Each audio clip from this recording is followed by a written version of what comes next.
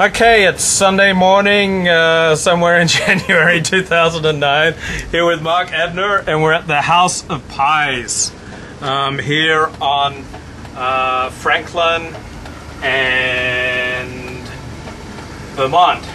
Yeah, and the House of Pies, by the way, this is, uh, uh, let's just call the House of Pies my office. This is where I did a lot of my static interviews. Right. Cops enjoy it. There were a lot of cops that were involved that I'd have them meet here. They really like the pie.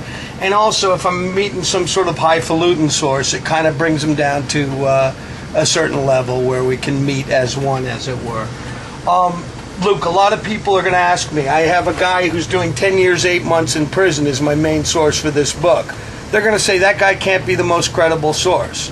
Well, the, the story started with him, and it started with Darnell Riley, who's doing 10 years, 8 months in Corcoran State Prison alongside of, uh, uh, uh, uh, who's, who's he up there with? Sirhan Sirhan and uh, Right. Charlie Manson.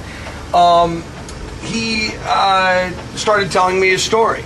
Well, it was my job to put my gumshoes on and hit the streets and seeing how it checked out. So let's have a look at some of the places I went. Okay, Uh, awesome. I'm assuming I'm in drive here. Um, if it doesn't go, move it up one. like th- there. There we go. That would be drive, right? Yeah. Okay. Now, um, I ran into Paris Hilton uh, the night before last. I'm hoping that this bastard will let me go. No, I guess not. That's all right. I ran into Paris Hilton at uh, Carrie Fisher's house Ah. up in Coldwater Canyon.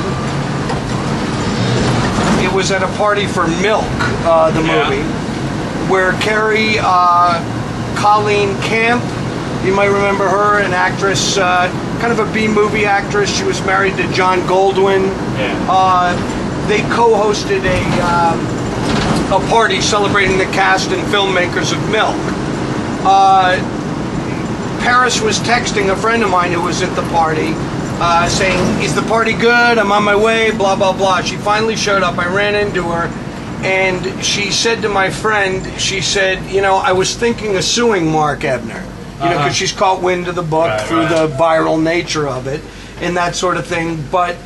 She said, I'm afraid Darnell Riley will kill me, and I just want Darnell Riley out of my life. Uh, so it was a brief encounter uh, with You may the- want to turn the indicator on. Oh yeah. Okay. Yeah. So so anyway, I, I I'm I apologize for kind of taking you out of context here, but we're going up to Stevie Wonder's former mommy baby or concubine, whatever, name's Melody McCulley.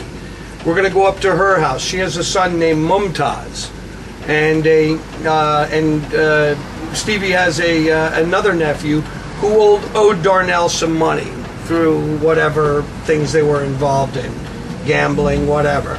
Uh, Darnell, in one of his last acts of retribution, staged a fall at Stevie Wonder's ex's house up here and um, attempted to extort Stevie Wonder for a lot of money. While this was going on, uh, while the, the negotiations were going on, Darnell Riley got snatched and was taken into custody. But I thought you'd like to see Yes. where Stevie Wonder's exes live and uh, where he's littered babies all over the all over all over town. I guess. How many kids does he have? I don't know. Yeah, I, you know, I'm gonna guess.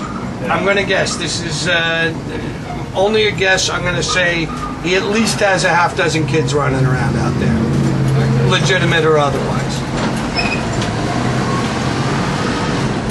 So is this the vague area of Hollywood where you live also? Somewhere in there? You know, I prefer not to disclose Yeah. where I live. Let's just say that uh, that I live out of a. Uh, is this Chislehurst? Yes, it is. Let's just say that I live out of a post office box in Santa Monica, California, and my residence is a 1969 VW bus with hand tinted windows.